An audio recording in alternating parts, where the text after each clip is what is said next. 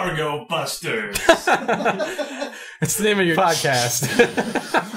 That'd be amazing if, your, if the podcast was called Bargo Busters. we went to a precedent. I don't know why they keep inviting us.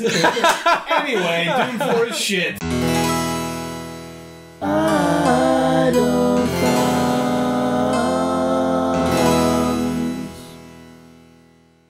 Games, video games, video games, video games, video games, video games, video games, video games, video games, video games, video games, video games, video games, video games, video games, video games. It's October 28th, 2009.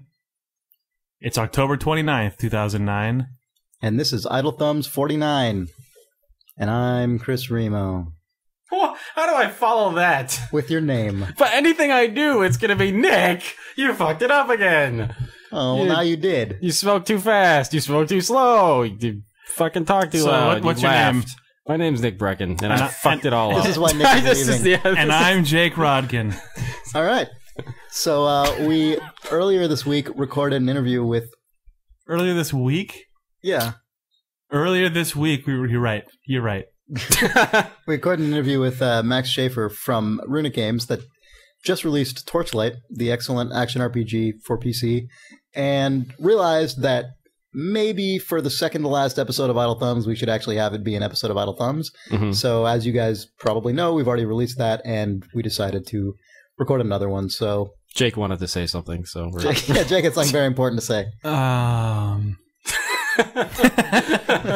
I don't have anything to say. Oh well, you better think of something soon. Oh, video games. Time for an hour and of vital thumbs. I don't know what I just said. Time for I remember that. you're the thumbs. creator. So here we are, video games. I honestly, the game I've mainly been playing is Torchlight. Yeah, so me too. Yeah, know, what are you gonna do? We just, I Eh. mean, you guys are going to be up to your ass in Idle Thumbs talking Yeah. about Torchlight, but we didn't offer You like guys, you guys are going to be up to your ass in idle thumbs. all right, that wasn't ideal, but and you know, torchlights. Torchlights. Yeah. Um, but it's really good. I've mainly been playing that. Yeah.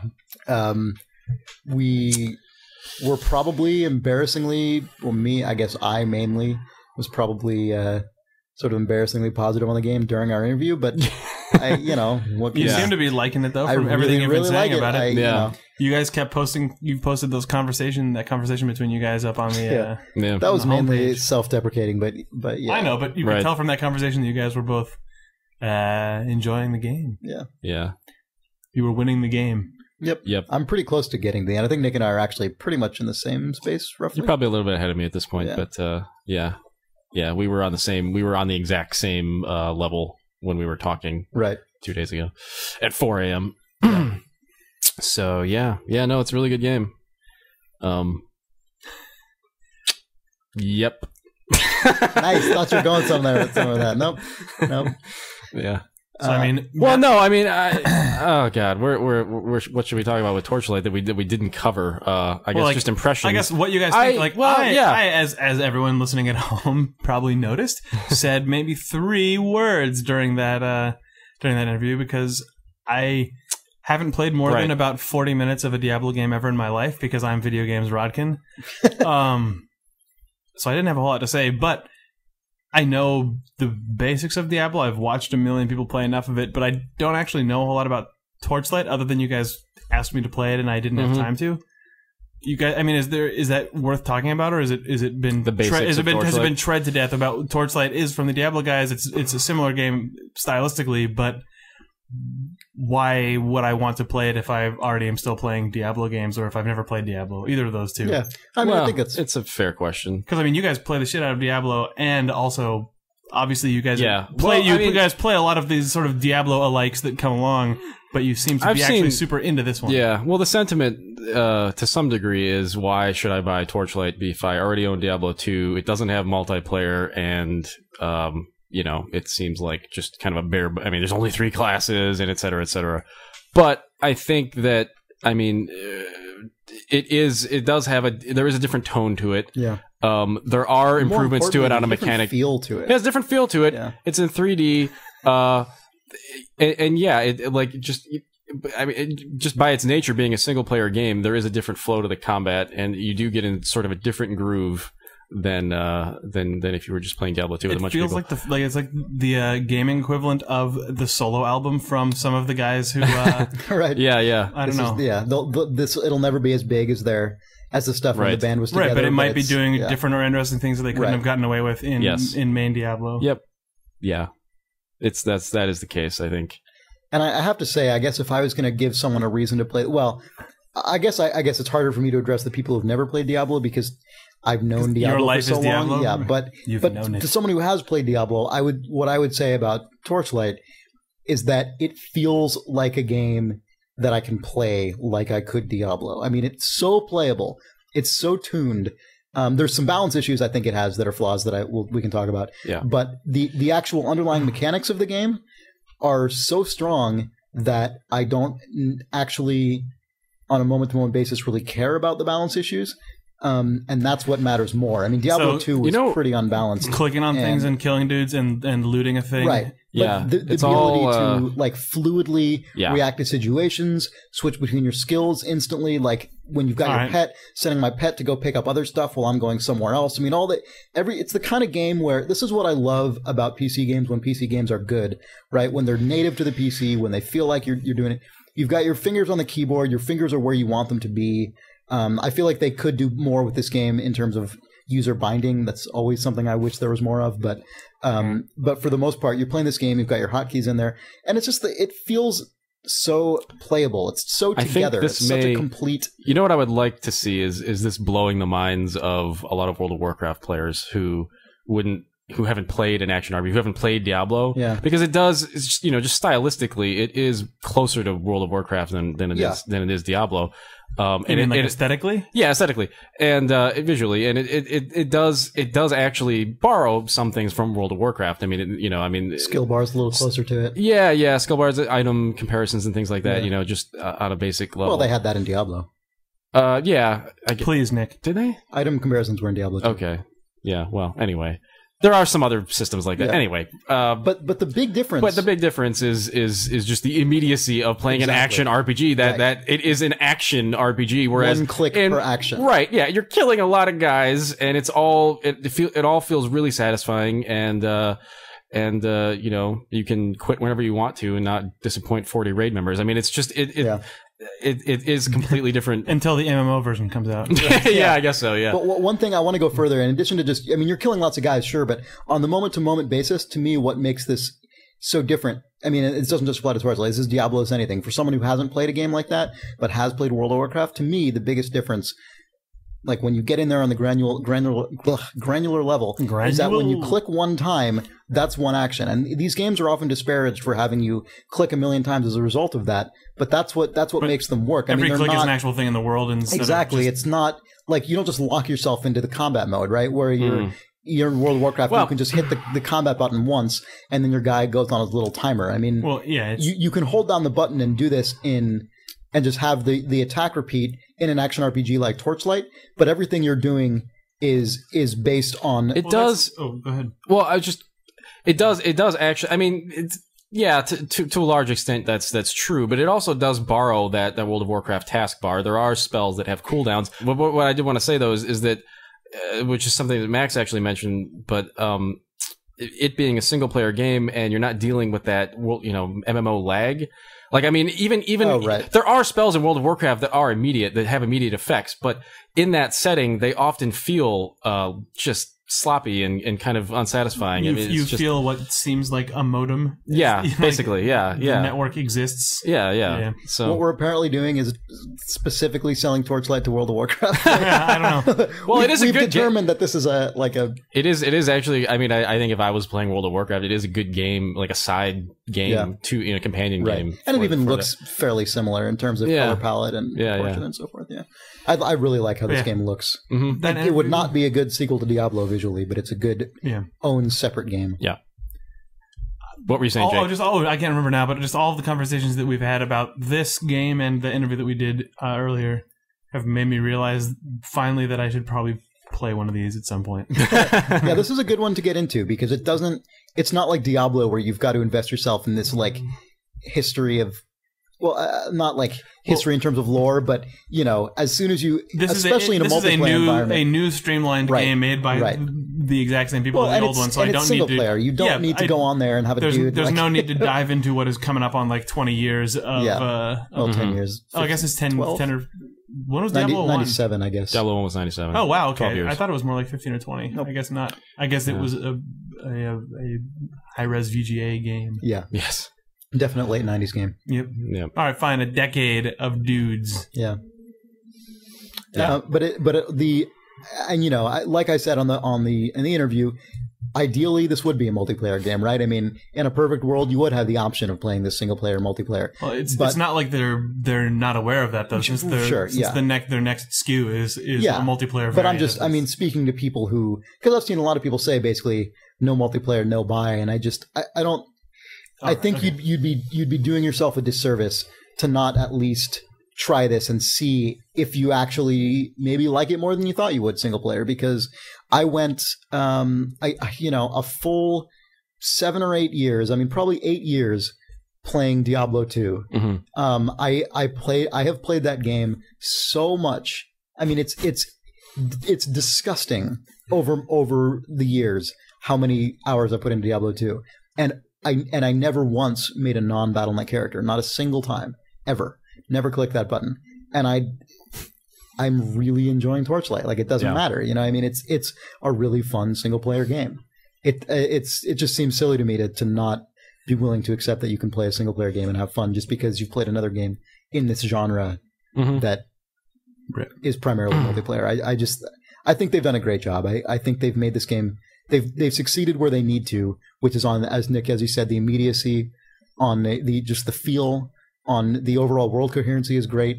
Uh, it allows you to play with a fluency that is something I love about games like this. I mean, I love feeling this in control of my character Yeah. that I'm constantly managing things. I'm constantly moving around. I'm I'm constantly thinking about where I'm positioned relative to the enemies. I'm you play it on an easier difficulty and you, you can stand there and shoot the guys. I mean, it's just what this genre does well. It's it's so good at, at scaling itself to how you want to play it. hmm Well, what I like about this game is that it does get back to that Diablo thing where you're moving down Yeah, and down and sure. down, and then that's that's it. You know what I mean? Like, uh, it, it, I kind of hope that with the MMO, I mean, at least some of that in there. uh, yeah, that there's that there, well, I mean, I, I hope that it's not uh, as as literal of an MMO as as uh, as you might imagine. I, yeah, That the overworld is kind of kept to uh, some kind of sane minimum of of uh, exploration. I don't know. I feel like the strength of these games is not that. You know, is not is Right. not. You want to go into a dungeon. Yeah. Yeah, I want to be in a dungeon. I mean, as most much of the time, it sh- I should be in a dungeon, and uh, and then the rest of the time, I'm in a town. yeah. Uh, I mean, obviously, the big difference between Diablo 1 and 2 is that in Diablo 2, you go to different cities, but all it's really doing is shifting what it looks like. I Right. mean, you're still starting in the hub and then Yep. branching off into a dungeon immediately. yeah, Although the descending is, an, is sort of a unique, the never ending descent is, is, is still hmm kind of a unique thing that has not been done very often. Yeah. I mean, if you think of like the Act Two in Diablo Two, if that was an area, that desert, if that was an area between that town and another town, Yeah. I I, I don't know if that would be as satisfying to fight in. Yeah. Well, that was also, Uh, you know, I mean, it's funny for such a great, for how amazingly lasting of a game Diablo 2 is. Some of that content was awful. You know, it's, it's Diablo 2's, I, no, it- it's really, I think about this a lot. Mm, um, because I never don't have fun when I'm playing. As much as like you can Yeah. complain about stuff in Diablo 2, I never don't have fun when I'm doing it. But Act 2 and Act 3, I don't have very many fond memories of. I mean, for me, the, the but it's bullshit, really, because when I was playing them, I was still having the goddamn time of my life. yeah. But I just mean in terms of like on a relative basis, you know, it's it's less interesting. I They are the least in- interesting acts Yeah. for sure. Um, but yeah, I don't know. but I mean, you know, again, when I, it's a million caveats there because hmm I still played through them a thousand times and fucking never. I guess what I'm afraid of with the MMO is is if you imagine like any of those acts and you're you're going through these large you know open areas. I mean that's I mean the acts in Diablo 2 uh, where you're in open land you know sections is probably Yeah. The closest thing to an MMO overworld uh, that you've seen in these games to date. And I I don't know if there were like 30 people running to kill the same like Right. guy that I just was Yeah. you know I don't. Uh, That, that that to me is a little scary. What I would prefer is just a town with uh, several instance dungeons, and I can group up sort of and Guild Wars kind of thing. I want a Guild Wars kind You of want thing. yeah. vehicles. record scratch. yeah, I want to travel to a different planet. Yeah. Fuck yeah. yeah. Flying X-wing. Nah. um, Sweet. Torchlight Yeah. MMO. Ignition in T minus. yeah, I don't know. That's cool that they're doing that, though. I I hope it's fun. Yeah, I you know I it's hard to know because I mean even by his own admission they haven't they haven't done much yeah. actual production work on it. They've kind of done some design, but they're they have you know the game's basically starting now, so who knows? I mean Yep. they say they want it out in eighteen months, which seems insane, but they made this entire thing start Right. to finish in eleven months. Yeah, So they've got their core tech, they've got sort of assets to build from, they've got sy- gameplay systems. Mhm.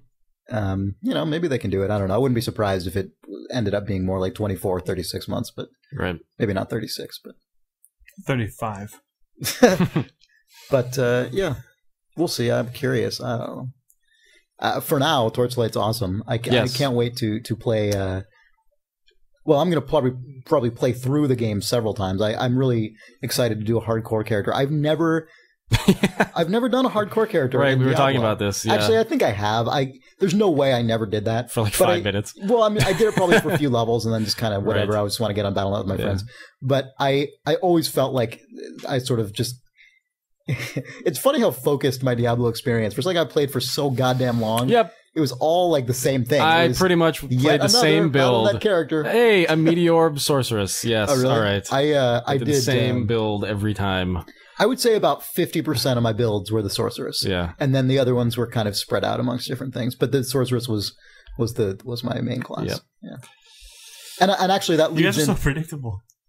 I know, and we're both playing the alchemist and torchlight. I know that was kind of sad. The the mod component of this game is Yeah. cool. I hope that this game achieves enough of a critical mass that at least a couple sort of notable projects come out of it that are well, yeah. I mean, you can create your own spells. Conceivably, somebody could create an You can create your own particle effect. yeah, you can create your own. Right, models. well, I mean, I was saying if somebody could create the sorceress class. Uh, yeah, I mean, basically, Right, what I I, mean, th- yeah, it's just in this com- in in a community like this, though, you're going to end up with a bunch of sort of weird stuff willy nilly. Yeah, right. But I I hope that it catches on enough that a few good, actual good thing. a things few come a out. few Yeah. solid projects at, uh, at any scale Yeah. Yeah. congeal enough that, that Yeah. there are a couple I see like like mean, yeah. if if someone said we're going to band together and we as a collective group are going to make four additional classes and that team does a solid enough job that that sort of like becomes a de facto ex- uh, like, like, de facto X pack yeah, and that'd I be mean, awesome. that's a sort of project that I could see a mod kit like they're developing working Yeah. really well And Yeah. when you look at what people have done for like the Total War series, for example, Oh yeah. where people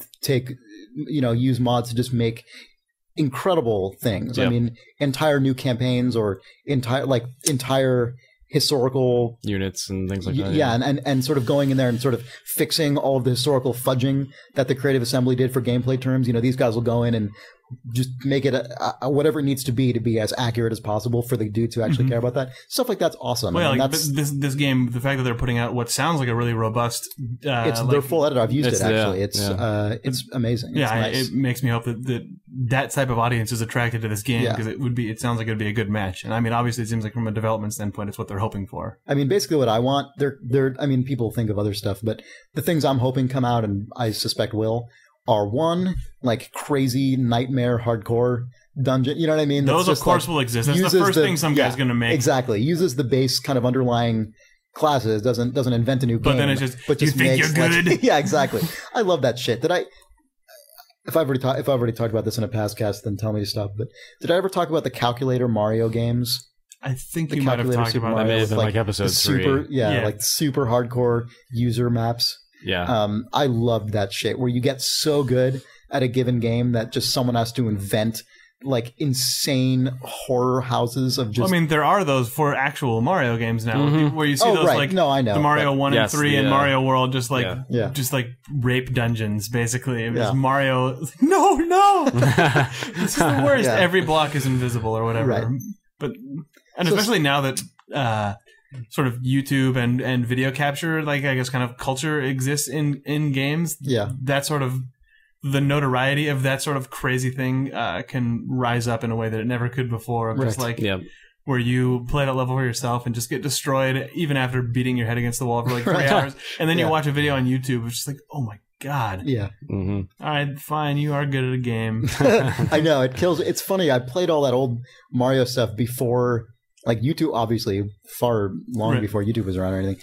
And it's well, I just you know obviously, but it's it's it was it's crazy to think about that now, and the fact that I was literally doing that purely.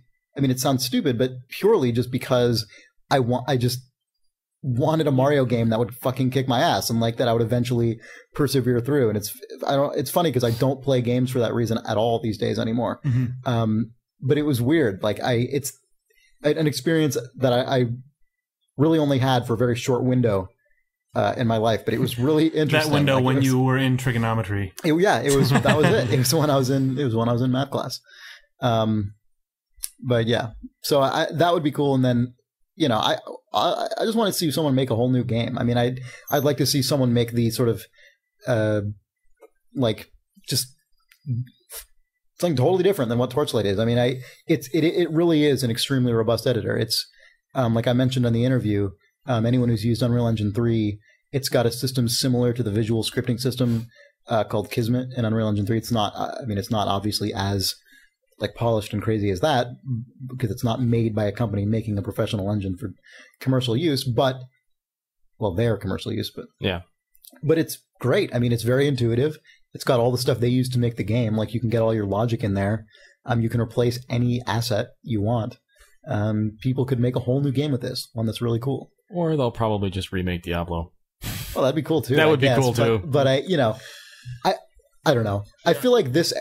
One of the reasons I'm particularly optimistic about the mod scene for this game is because I don't think there has been another editor like this for a game like this. Mm, Certainly not nothing this extensive. aware. Nothing No. where you're the developers are just giving you their own in Right, but full I mean, editing it suite. just it needs the I- combination of the player base and the Right. interested authors. Well, but I just by that I mean guys who are accustomed to making custom content and making mods. I'm wondering if some of them will become interested just because it's just sort because of a there's new thing. A, such Like- a, an, a readily available large SDK, basically. that that isn't Yeah. just another first person shooter editor. you know, like guys who who like making mod content, custom content, and this is something that it isn't just Crytek or Unreal or or IdTech or whatever. I mean, it's yeah, just top down totally stuff. separate thing. It's hard to think of a lot of examples of that. Like Yeah, I, I think think there there were many. there were some like Fallout add-on things that people tried to hack Oh, together, really? but I I don't, don't think any of think I them were very good. Yeah. Um, because there just weren't any tools. Yeah. But Well, th- this is nice. now because, there's tools. yes, we have the tools, the soft tools. Oh yeah. Hey. Um, it's uh, it's I don't know. It's cool. I hope this game is successful. Yep, Yeah. it's pretty good. It's pretty good. I I definitely might have played it. you know, for people like- who for people who don't know anything about Diablo or, or this game, why you should play this is that it is a game that doesn't hit you in the face with story or any of that other bullshit. Right. It's just a fucking game. Yeah. You play it and you know you're clicking and you go through things and they're monsters and you get loot and stuff and and that's it. There's no fucking like If uh, if if the fact that Chris and Nick have combined dedicated basically an hour and a half of our week to talking about this game on record is, not, is not enough. Um, Yeah. Uh, baboo. Yep. Yeah. Yep. Yep. This game. Uh, it's actually it's funny. This game interrupted my uh, Demon Souls. Uh, also, also a great game. I mean, It interrupted your demon souls. it interrupted my Demon Exercise Souls. my demon souls. Um, which is also a fantastic game. But it's funny because they they You've share. just been slicing dudes in dungeons. I for a know while, yeah. exactly. Yeah. right. They're both. They appeal to similar parts of the brain, but it's hilarious how different they are, and like in every way, while still being sort of the same point to the game. Right. They're both basically Diablo clones. But one of them will will just No, it's funny. The funny thing about Demon Souls, my initial impression of it was like if someone had invented Diablo without ever playing Diablo. like, you know what I mean? Like not trying to make an accessible game or anything, you know, like it's not. I mean, that's it's Yeah. like it's proud of how unaccessible it is and it's what makes the game good, but it's also what makes the game infuriating before Mm-hmm. you understand what makes it good. yeah. Um Torchlight's not like that at all. No. I mean, you fucking get in there and you you're going. It gets hard. I mean, Yeah. you know there are times when you'll when you'll die more but it, and i and it feels actually a little easier than diablo to me but um maybe that's just because i'm used to playing this kind of game i'm gonna I'm gonna make. I'm doing it on the harder difficulty, the hardest Yeah. one next. But um, The other thing, though, uh, just real quick. Yeah.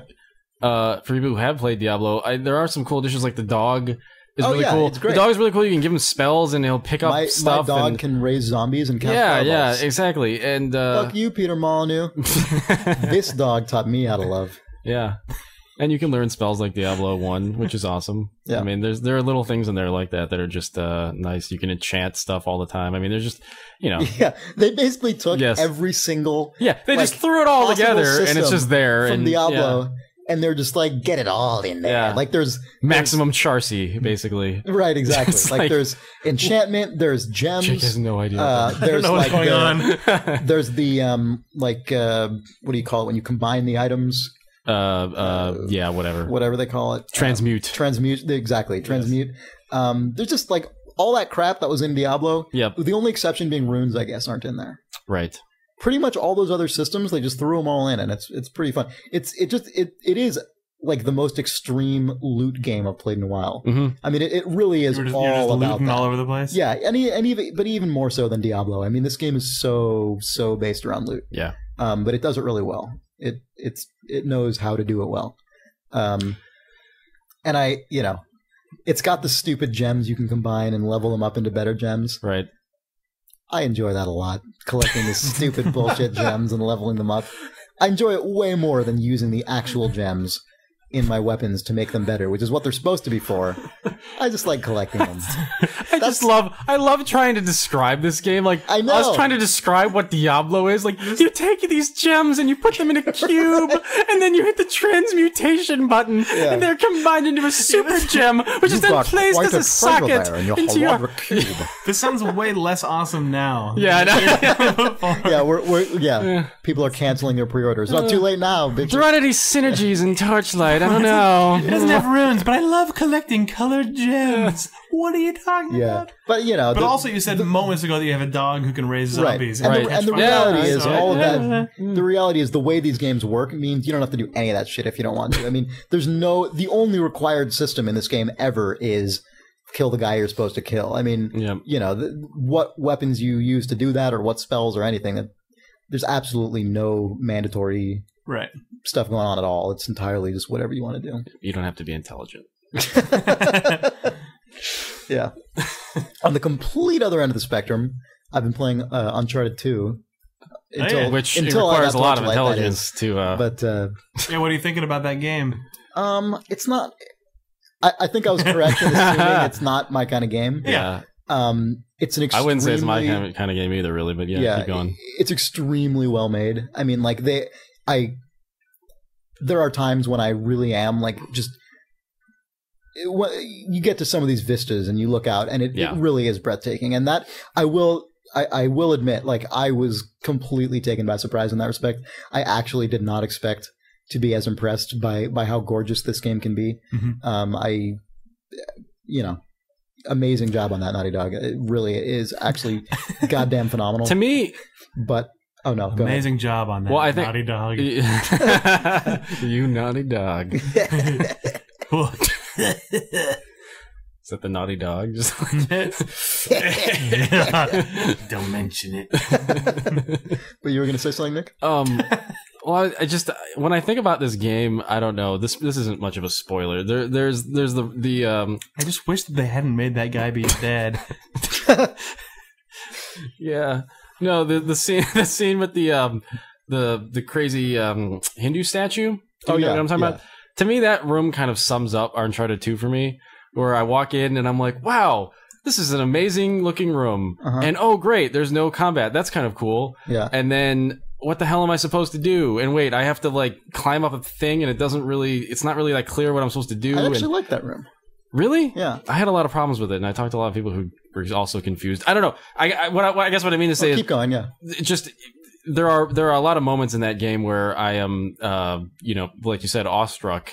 Um, but then there are a lot of holes in in the in the game design where it's just uh, this doesn't make any sense, or this is kind of weird and silly. You know? Yeah, but well, I agree with you completely. But I liked that room actually. It was the only time, at least as far as I've played through the game so far, um, it was one of the only times when I I actually had to sort of stop. look at a thing and examine something. something. No, I did like that part of it. it was- I guess it- what I'm saying is the uh just the f- the first like ladder or whatever you have to find in that room. Uh-huh. I couldn't find it at okay, all. sure, fair enough. Uh, and that just happened to me a lot in that game where I That's just the worst when that happens in a game. yeah yeah. I mean Th- that that did happen to me sometimes in that game, but that in those cases it bothers me because it's like there really is literally only one place to get where you're going, but you're outside in this huge area where it looks like you know you're in a city. I Yeah. mean, you should be able to do all kinds of things. You should be able to interact with objects. You should be able to. well, that's what I mean. Stuff. Yeah. And I and you- He's a superhuman at sometimes, but then in this yeah. room, I can only have the one thing that I have to find, and that's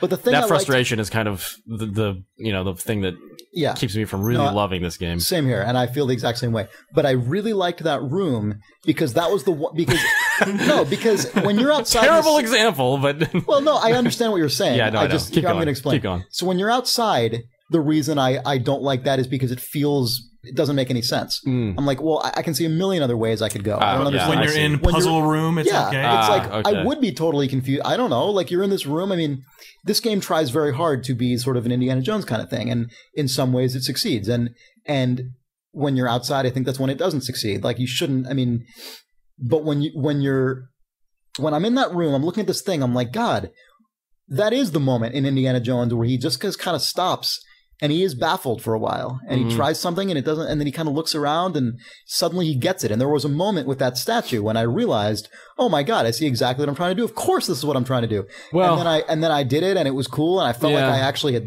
sort of solved this thing i mean the game I did like it does tell you like look in your book there's a thing here no, But- yeah, I, I really liked that room i thought it was awesome yeah. I, Take that, Breckon. well no but i understand what you no, no, no, no, no. It, I like. I loved those. What you're describing. It was just you know once I found I knew exactly what I had to do. Right. I just couldn't do it. Yeah. Like like all right I, that's fair enough you know. Well, it- you're just a shittier explorer. yeah. I just yeah. What I'm can a I way say? better Um, Indiana Jones yeah. than you are, Nathan Drake. Signed Nathan Drake. Margin in his like middle school notebook. yeah. Um, but yeah, but I so I my overall the overall kind of thing that that I just keeps me from really connecting with Uncharted Two is it it. The, the positive thing everyone says about it, right, is that it's like, It's oh like my god, movie. it's like a movie, and I and I know there's gonna be people who write in like, well, that's not what I like. Okay, I, I have seen that comment so many times yeah. that I'm pretty sure that's what a lot of people think. So I'll, that that is clearly what this game is going for to some extent. That is what a lot of people see in it. My problem with it is that it it it so easily breaks the illusion all the time. Mm-hmm. You know, I mean, every single time you jump off the thing, that's exactly when it crumbles. Every single, the whole first sequence is like that, and it's yeah. it's like, well, I could hang on this thing forever, and you know, I I mean, well, it's, it, they it's they're choosing to do that, right? I mean, they don't have to do that. They they could mess with those timings. They could have it wait longer after you come off. They could It's uh, the roller coaster. not ride. have everyone I mean, break. it- They- it's it's the adventure game style of storytelling, but with all real time events, like your actual method of interaction. Right. It still is yeah, like yeah. it's like it's well, I was gonna say it's like the end of Full Throttle, but in that the car actually goes off a cliff if you wait long Right. enough. But uh, it's that you know everyone's gonna sit around breathing until you make it look cool by doing Right. the thing that you're supposed to do. It's just in this case. That's all sort of grappling mechanics. The, Uh, but s- it, you're right. But the difference is usually in adventure games, that's it, it is implausible, right? You can wait forever in an adventure game. My problem is that I don't like it, even in adventure games, when it's done in a situation that you're supposed to believe. Right, where it's a life-threatening situation, but then life-threatening, you immediate you go make dinner Yeah. and you come back and everyone is still sort of in the fighter Right. stance looking at each other. Yeah, And that when adventure games do that, it does bother me. And in, and in this game, it does bother me. And I, I yeah, no, that yeah, I, I I wasn't trying to say that it's good. It oh actually, no, no. like, but but the- some people have that problem with adventure games too, and I think that's like, a fair criticism I mean, it's, as well. it was kind of a simple, uh, kind of slightly like face punching solution, but I really liked that in full throttle. The car will just drive off a cliff if you don't solve Right. that puzzle long enough until you want to commit suicide because the stupid car is driving off a cliff. yeah, and, But- and some which people is the f- hate fault in those that. too for Yeah. other valid reasons. Um, It's a difficult dilemma. I mean, I don't. I don't know how much I want to spoil, the, but the scene we were talking about. Um, Oh, Nick and I were discussing this. Yeah. yeah. Well, there, let's- we can just say there's a scene where you're carrying a guy who's wounded. Right. I don't know. You got to this point, Jake. I haven't yet. Okay. Well, anyway, I won't, I won't go into detail, but you're getting there. There are bullets coming at you from all over the place. Yeah. Are they just, Um, just an environment loop of bullets? No, it's not. Well, it's there's it's actual actual people shooting Okay, you, well, that's good. but you're, You're getting shot like a thousand times in the face. And However, this guy has taken a single bullet hit Right. that's That- been modeled now, into That's his. been a big complaint about Uncharted, hasn't it? Of just sort of probably the number of bullets that everyone can take at The sort problem, of seemingly though, is- arbitrary times. well, of until just- the, prob- story doesn't. yeah. Until the story right demands until until narratively Yeah. until a narrative bullet appears. right. The problem though is what I'm what I was thinking about though is my the first thing I thought of was well maybe they should have just done something where it it is spawn bullets where you know there's just some effect where there are bullets flying but they're not really hitting you all the time. Like time the maybe actual like Indiana Jones ride, Right. Where you're supposed to believe the the Yeah, arrows that but- are coming out of the walls Right. yeah are missing you. Yeah. but the problem with that is that you would end up with the you- adventure game thing which is make like you go make your Jiffy Pop or whatever, Exactly. And you watch the Right, yeah. yeah. and you just watch you just watch him yeah I mean that would be back and forth. incredibly lame so well, how to, do you to solve me, that, that paradox indicates yeah trying to recreate that experience maybe isn't what a game Exactly. is trying to do. It's- Right. it is Well, yeah, really- it is- it but, like when it works. It's really nice. Like I mean, uh, the very first puzzle when you're climbing up the boxcar. If that was all timing based, that would be the worst chain Yeah, I'm of jumping puzzles in the entire yeah. world. But the fact that it's not pulls you out of that situation and striking that balance is really Yeah. tough. But I, I like that there's a game that is at least that is sort of trying to give you that like it. I I can't think of a game that wouldn't basically just be the most killer frustrating like Right. you- well, I- Dragon's Lair is is. You but know, I mean, the- like, well, I mean, if there is, you, Which is you- garbage. You scramble up this boxcar that is that is on its way falling off a cliff. You would need to get the precision of like the super last levels of N plus of your ability to sort of jump and world manipulate, and then people aren't going to play your game. Mhm. yeah, I, I'm But, not. I mean there there have been I, I wish I wish that I wish that it wasn't that your guy would hang off of a pole forever, but I also liked the fact that I at least could, in some capacity, participate in that experience. Yeah. But that it it's not as fulfilling as when that sort of situation is is real, though. well, no, I mean. I. You, that- or in real life when you wake up on a train car. right. Well, no, what you say is completely valid, and I and I, I want to make it clear what I'm not trying to do is play backseat designer and say this is what they should have done. Mm-hmm. I'm not at all trying to do that. I'm purely speaking from the perspective of a player who's saying, regardless of whether they made the best choice or not, and they probably did make the best choice, and they did a great job at the choice Well, they I mean, what decided they're to go to through. make, they right. It. it. just for me personally, Mhm. it it doesn't. It's not very effective, and I I I guess it just means maybe you can't please me when it comes to this kind of game, which well yeah it's not really anyone's fault, I guess. But I just There's I- so many different people trying to solve that problem. Like I was just thinking of Brutal Legend in the beginning where you're driving on the highway and Right. there's that solution was to have somebody go, Oh, look out, you know, it's crumbling on the left side of the screen. You Right. know, like sort of warn you ahead of time. hmm Um but uh yeah, I don't know. God, I had something else I was gonna say too, and I totally mean, forgot. no. Yeah. But I mean, no, I mean, Jake, I like it's Well, like I mean, Valve has moments that are like Right. what Uncharted has, but Valve Yeah. also keeps it really controlled. They just have the benefit of it being a f- first-person scenario, so they don't have to worry about creating a situation where you're like physically like hand to object Right, grappling right. your way on surfaces. they Uh, fudge a lot of that stuff. Yeah. No, but I and Jake, I totally appreciate where you're coming from, and I'm, I mean, I'm Oh. glad that there's like I'm glad that there's someone on the podcast who doesn't feel the way I do, because otherwise, Well, I It would mean, be in, like in all honesty, douchebag central. But in all honesty, I do prefer like if if there is that sort of a, a style of game like this where it is all about world exploration, I much more prefer being able to find my own route or you know feel like there are really strong repercussions for my actions if I fuck up. You but, know, but like just I also maybe partly just because I make adventure games all the time. I Right. I like sitting down and just being like, this is this is an extremely authored experience that is still interactive, and they did an amazing job of it. And that Yeah. that is that I I found that really fun, even though it it doesn't like fulfill you to the core the way that a really good super super high agency Right. your like sort of choice driven version of that could no, that's that's uh, fair enough. it- I it- understand like what Yeah. yeah, what the it appeal is. sparks a different brain part yeah, yeah, I, I really like when you're just moving around the world that you just sort of the, the game does what I want it to be doing just sort of by me mushing things around and pressing a button. but I I do I do miss a little bit of the like Prince of Persia: Sands of Time the controls were like it was sort of the first game that I felt like was all about that style Right. of sort of 3D uh, world climbing stuff, and because of that, it was a little bit crunchier.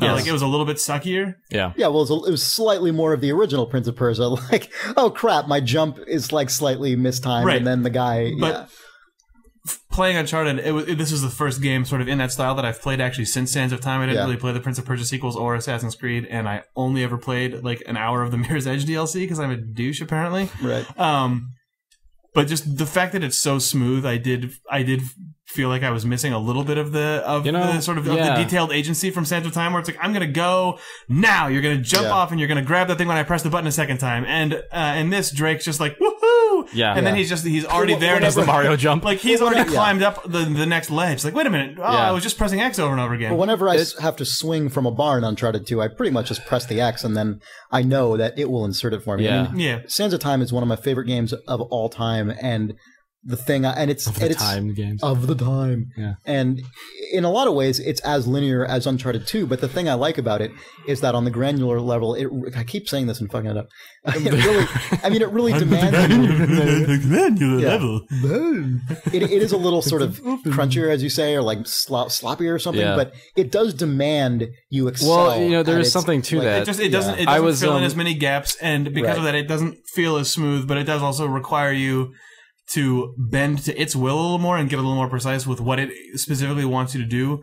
Whereas when sort of when Uncharted Two, uh, when when something fucks up and you miss a jump or when your guy can't uh, do a thing, I end up blaming the game.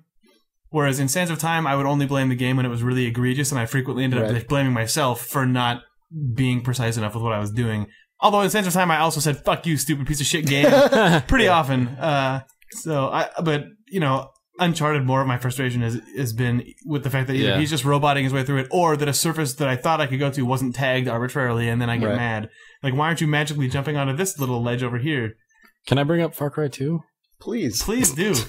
We've You're only talking about how got- like, a hand reaches got out very and few of grabs a these doorknob. these chances left to talk about it. So take one while you can. Um, well, just real quick, uh, related to jumping across things. Um, I I was playing Far Cry 2, and uh, and I just I just happened upon this huge city, which is weird uh, in that game, and Had you not is found it this was it the one in the mountains? The yeah, yeah, lots of huts, and and just Uh-huh. it kind of goes up into the mountains, and it's a, it's a really gorgeous setting. But anyway, I I ended up in this huge firefight because there are I guess a thousand guys with guns in that And they city. all like hate that's you. that's pretty much who all who lives in that city. I guess are guys who use RPGs. Uh, that's how Far Cry Two works. yeah, yeah, it's a family of snipers. Um, but so I the snipers yeah, meet the snipers. Starring Tom Arnold. as sniper. Anyway, Uh, y- you found uh, this place. Yeah, I found this uh, mysterious place with You found uh, enemies, Sniperton? and uh, Sniperville, and I was on a roof, and I, I hadn't jumped across anything in this game at all, but. And, and the game is clearly not meant to be a, Right. a run and jump. But I ended up just kind of while getting shot at from a thousand different directions, leaping across these buildings like something out of the Matrix or whatever. And it was amazing. Like I'm, the game was not built for that at all. But Right. because it just happened spontaneously in this engine that you know just wasn't meant for it, it was great. I just I couldn't you believe like you were. I couldn't believe that I pulled it off. Experience. Yeah, I couldn't believe that I pulled it off, and I, and, you know, I jumped off the building and ended up in this Idle Thumbs alley. And, praises surprising emergent event in Far Cry 2. Stop the presses. yeah, Yeah, sorry. no, but I know what you mean. That stuff is amazing when you when Yeah. you suddenly realize you're doing something in a game that the game someone did not sit there and decide this person will do this right here Yep. with these hotspots. Yeah, I mean that stuff is great. I love it. Yeah. I don't know what that added to the conversation other than Far Cry 2 is great. That's all right. but We got to we got to get that yeah, Yeah. sorry. Okay. You guys want to take a break yeah, for a second, can or are you going to keep talking? Yeah. No, I don't know. I mean, Uncharted too. Like I, I hope I don't sound like too much of a douche about it. I, I, I think that you're being a little self conscious. yeah, probably. I'm basically Big- I'm basically enjoying it, but I, you know, I Yeah, no. it, it, it, it isn't my kind of game. So it's, I guess the fact that I, that that I that I don't just hate it is pretty impressive because I don't, I don't, I don't hate I feel it. like I I'm just, being kind of a douche about this, but I'll just say that the fact that I don't hate it is pretty impressive. well, you know, Da-da-da-da-da-da. Chris Remo. taking a break. Video game. So that was a nice break. yes. we broke. Yep. Now we're back Lots together. of embargoes. We broke some bargos. We were just talking about Prince of Persia. yeah, we were. Speaking of Prince of Persia, Nick, I heard you watched a Prince of Persia trailer. I did. It was pretty good. Really? No. I was surprised. uh, yeah, no. No, I'm um, not. So what's this game called? so, Prince so of you Persia? went to The an event movie. and Jordan. oh, Mechner- Prince of Persia the movie. This isn't a video game. Yeah, no. Yeah. Oh, it's Prince of Persia: Sands of Time. right. Calling back to our previous discussion Yeah, about Prince yeah. of Persia: Sands of Oh man, we're segging like mad. God. Um, and Jordan Mechner was at this. He was there, screening. yeah. It's weird that they held an event. Did he have a just The Last Express trailer. T-shirt on? no, he didn't. Uh, No. Did anyone ask him about the Last Express? I was gonna be that guy, and then I thought maybe I shouldn't. Okay. Will you ever be creating a Yeah. sequel to your Well, classic, underappreciated? Somebody actually said, if this if this movie is successful, will we see a uh, Karakatera or what, what's the what, what's the Kara- I can't even fucking say the name of that game, but Karateka. Karateka, I don't yeah. know how to pronounce it. I yeah. In fact, uh, there was a whole discussion on how to pronounce that game. Is what that well, he's in- making a new game. I broke that news. It was me. No, I meant mo- he, the, the thing was a movie. It Oh. was, it's a movie Oh, thing. wait. Oh, so you had a scoop? Well, this was years. Ago. I mean, this was like a year ago. Yeah.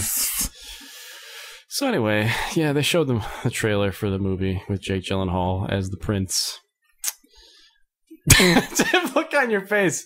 No, what? It's a suspicious move. It you is. know? A, It's- it is a suspicious move. it inspires doubt. Did he Um, grapple a pole? Well, the, wa- the Yeah. way, yeah, he did. Did he have to um, like find an item to slot into a did. thing? or? Did he did he drink He from did. a fountain? He pressed, he pressed a jewel on a dagger, and he turned into sand guy. Wait, what? He, what does he mean? He turned into sand guy? Well, when he goes back in time, he like I, I don't Oh, know. oh, oh, he turns into like sand particles that yeah, go whooshing. Yeah, lots right. of sand particles in this He doesn't trailer. just. He doesn't just. They don't just take the film and just run it backwards for a few seconds. that would be closer to the game. yeah, they, they may. They I- also I'm sure they licensed do. Blinx the t- the time sweeper. Yeah, right. Um, So, can you say anything about the trailer? I mean, is it worth saying anything about it? What is it? What I mean, is it just a? I don't know how. Why are we? Why, am Why I are we asking you to do talking that? about That's this? an idiotic thing to ask you. Huh? So, so did I. Re, I retract anything I just said. That's retarded. you pressed your finger onto a dagger and turned into sand for a yeah, second. exactly. Yeah.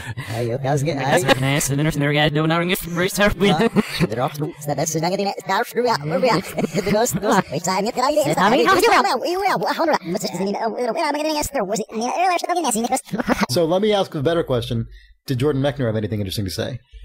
Um, he, you know, and he, it wasn't it wasn't the most interesting thing in the world. It was mostly you know generic movie questions. You Yeah. know, uh, how, what was it like working with someone? But uh, it was kind of funny to hear him talk about Jerry Bruckheimer uh, at a couple of points. Um, just, I mean, I, I, it, it sounds like to me. Um, I mean, I don't know. My impression of the trailer is that it's just a big Jerry Bruckheimer movie uh, with the Prince and uh, you know Alfred Molina as the crazy sidekick, sense of humor dude. Um, so I mean, you know, it might be okay. It might be it, it might be one of those video game movies that sort of just squeaks by, but uh, it didn't look like anything special. That's for sure. Um, I know Disney seems to kind of want it to be the next Pirates of the Caribbean. Yeah, Yeah, yeah, for maybe. Um, I don't. I don't know if Jake Gyllenhaal has the Johnny Depp. He's no Crazy he's no charisma. Depp. Yeah. Uh, there was banter between Jake Gyllenhaal and the princess. well, there's always going to be some banter. There was there was some banter. There was a little banter. Oh, in they You there. make- seem to your own point about. Wasn't you were going to say something about? Jerry Bruckheimer. yeah. Yeah, no, it was funny. I mean, there were a couple of points. Somebody said like, "What's what was it like?" You know, Jordan working with Jerry Bruckheimer. Uh, kind of maybe maybe that wasn't the tone that they used. Like, was wh- no, it was more like it was more like. So what was it like working with Jerry Bruckheimer? just kind of Oh, like man. yeah, and he was like he just sort of looked down and smiled and, and thought he's he's a the kind of guy who always thinks about what he's gonna say. Yeah, he does. Uh, you know, carefully, and uh, and he just sort of smiled. You may not know what that's like listening to the Idle Thumbs podcast. yeah, right. Yeah, he thinks Trust about what he's it's a- going to say before he says it. Satisfying experience. Yeah. Um, but no, he just sort of smiled and and uh, and looked up and he, you know, Jerry likes big movies. Yeah. yeah, and he said that a couple of times throughout this. I it sounds like I mean the way he described his involvement was he wrote the first draft of the screenplay and that was it. 18 Um, script doctors called in to Yeah, yeah, it's it's one of those things. focus test So the shit out of it. yeah. Um, he was pretty excited that Ben Kingsley and Alfred Molina were in it. Yeah, Um, I'd be excited if Yeah, my screenplay had those guys in it. yeah. But uh, then again, Ben Kingsley is sort of like doing everything in the world. Yeah, Everyone, I mean, everyone was really excited when Ben Kingsley signed up for the, the latest Uwe Boll movie. Yeah, Yeah. yeah. He He's, one of the those- kiss of death at this point. I He's guess one of those guys who's sort of simultaneously a potentially Right, like, yeah, he great does have the- the but who craft. also is one of those it's a job guys, Right, Right, where yeah. he's like, well, whatever. I mean, I'm in a movie. I'm they working. some money, and Yeah. I'm working. Right. Yeah, just ben really- Kingsley just could show up it. and just destroy everyone. Right. Yes. Or he could show up and destroy your film. Well, he does. I mean, or your film could be mean, he's- destroyed. Could have been has des- done both. destroying before anyone showed Yeah. up. In either way, what am I talking about? Ha ha ha ha. But yeah, I don't. I, it, it's funny how, how I don't know. The further away Jordan Mechner gets from a Prince of Persia thing, the dumber it always looks to me. You know? I mean, seriously, like it's true. I, it it's- true. and it's it's not deliberate. Uh, like I, I remember being really excited about um, Prince of Persia: Warrior Within, like Mm, early on. I mean, we I remember Rattle Thumbs went to E3 and like got all excited about it. We're like, oh man, there's gonna be a pirate ship in this game, and we were Yeah. all stoked. And then it, the closer it got to release, the more I started seeing, it, the stupider I thought it looked. And then by the Yeah. time it came out, I thought this game looks idiotic. And then to be like fair, you know, I will say one thing. I, I did go back and look at his trailer pitch. He, I on, saw on, that on too, yeah, JordanMechner.com, he posted the Yeah. uh, the trailer that he used to pitch Disney. Um, it's actually fairly close to what ended up being the trailer. Like, yeah. I mean, there are actually specific shots in there that are, that were duplicated and used uh, in the movie. Um, but you know, I mean, it's just an action movie with Jake Gyllenhaal. Uh, is what it is my impression of it. And but sand. and and yeah, Does it have crazy evil birds Featuring that sort of Jake swoop Gyllenhaal forever and then as dive at you sand. and then turn into sand? there are no sand monsters. Is there an he elevator specifically that said there are no sand you monsters. know you have to replay 18 times while enemies spawn at you? Yeah. the DVD supports that mode. Nice. Um, The Blu-ray, pardon. yeah. The times here. He he did talk about sort of uh, Jordan Mechner, the guy, uh, a little bit. Where Oh yeah, did he Yeah, say well, in somebody- those terms? Let so- me just take a step Yeah. back. Here. I'm going to tell you about Jordan Mechner, the Yeah. guy, if you will. he is the person least likely to actually ever Yeah. say something like right, that. yeah. But somebody did ask him, like, you know, you're doing movies and games, and like, what are you? What's what, it what- like being what are you? you? Well, they're like, what are you? What doing? are Like, you? What are you? What are you? I don't understand. but, but uh, Not human. yeah. No, he was just like, you know, I do uh, graphic. I guess he's involved in the Prince of Persia prequel graphic novel or something. Yeah, he's doing. I have I have one of the graphic novels. I mean, Yeah. the first one that came out a, Yeah, a year or two ago. he's you know, so he wants to just keep doing a little bit everything, which is what's cool about that. That's guy. what's awesome about him. Yeah, Yeah, he's he's he's one of my favorite game designers who isn't a actual full time game designer. I mean, I Mhm. I think guys like that are so interesting. You know, Yeah. they write. He's he's an artist, like a visual artist. I mean, he's game designer. He has produced or directed documentary films. Yeah, Um, he's just really interesting. I, I I like guys like that who actually pursue various disciplines and actually do different things well. It makes games seem less stupid. yeah, exactly. When a guy like when a Yeah, guy When right. like that, there's someone out there who does Yeah. many different things, and one of them is games, so it's Exactly. not just like right? you know.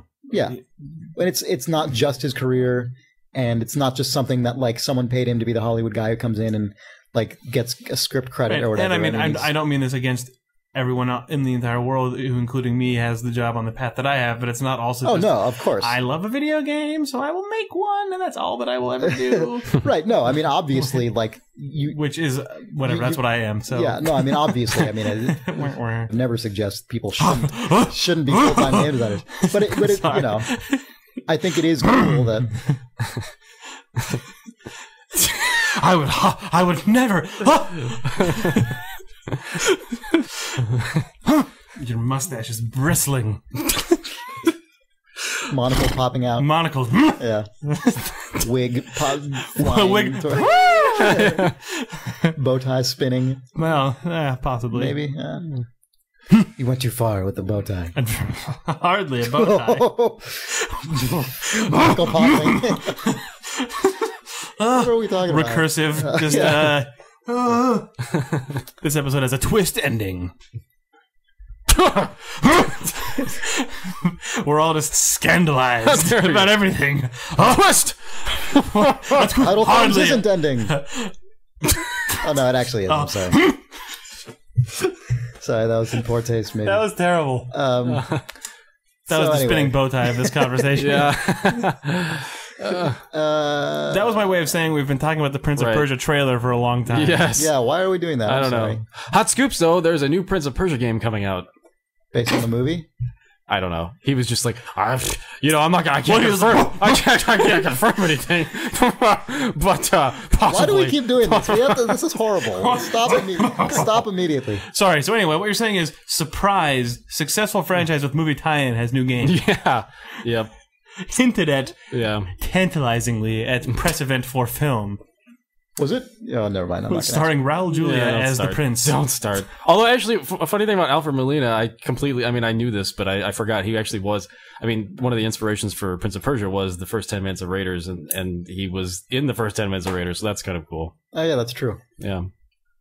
Well, there you go. There you go. It's going to be great. It actually could, it might, it, it, it, it might, it might be, it might be, I, that trailer, I, you can't, you can't really. I hate you. you know, what are you doing? I'm so glad you're leaving. yeah, get out of here. So it's terrible and might be not terrible. it was just a standard trailer. Who the hell knows? Yeah. Okay, that's fair enough.